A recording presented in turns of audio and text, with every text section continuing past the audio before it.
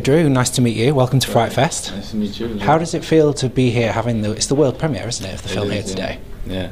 yeah. It feels really good. Um, I'm, I'm a big fan of, of the festival.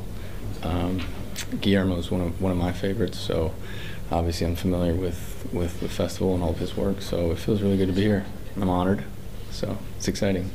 So I think in this film, um, you play a completely different kind of role than I've seen you do before. Mm-hmm. Um, going back to you know the Devious Maids and Pretty Little Liars and this kind of things you were known for, Mhm. this is a complete change of gear. Um, is that what attracted you to the role? Because it is a very complex character. Yeah, um, yeah, absolutely. Um, you know, I, I, I read the script for the first time, and I kind of fell in love with, with Jake, the character, in a way, and um, it it it made me feel some things internally um, with myself and what I was going through in my life that wasn't necessarily comfortable with, and things that I didn't really want to address. And I thought that was really intriguing as I as I as I continued to read, and I sat with it for a little bit, and I thought I think this is something as as as human beings and as an actor it would be interesting to explore because um, you know we all have that that that light side and and and the dark side I guess that is my one Star Wars reference for the day so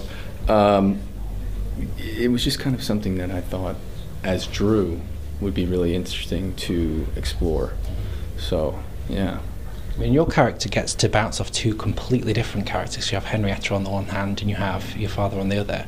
What was it like to get that balance right? Because both characters bring out completely different sides of Jake. Yeah, it was it was it was tough, I guess, at first because I wasn't really sure what to expect. Um, but you know, upon meeting Stephen and and Alicia as well, they're both so instinctual, I guess, as actors. They, you know, it, it just comes so naturally to them. It was something that I kind of fed off of,